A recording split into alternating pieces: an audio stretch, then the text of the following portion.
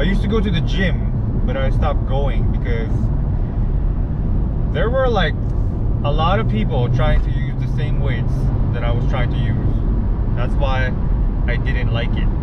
It's not like I was lazy. I just I had to wait like 20 minutes to use the weights that I wanted.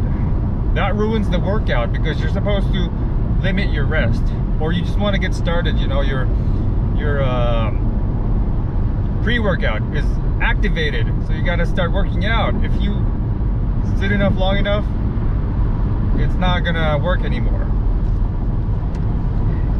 That's why I don't like going to the gym. There's a lot of people trying to use the same weights that you're trying to use. And you're dedicated. You want to work out. But it's just not working because a lot of people go to the gym. If it were, you know, a few people and most of the weights that you want are available, then yeah, go to the gym. But for the most part, it's overcrowded, it's overused, and you rarely get to use the machines that you want to use. Let's say, for example, let's say you want to use the leg machines. It's leg day, and then they're all occupied, so you're like, oh, screw it, I'll do back day. That's not, that throws you off because you you planned it, you got a schedule. You can't just switch workouts like that. It it messes up your motivation because it's not consistent.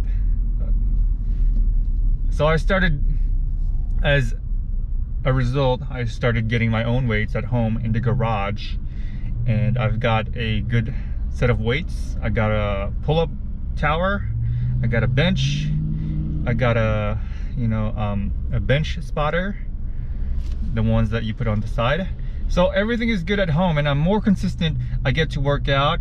I don't get to waste time going to the gym, waiting for the weights, and then going home. All those are lost time. And when you factor in everything, the lost time, the, the gym membership, the investment, it pays for itself. And this only works if you got a, if you got the space. So unfortunately, if you're in an apartment, you don't have any space, it's not gonna work out for you. So just get a home gym if you can and stop going to the gym. GoPro, stop recording. GoPro, stop recording.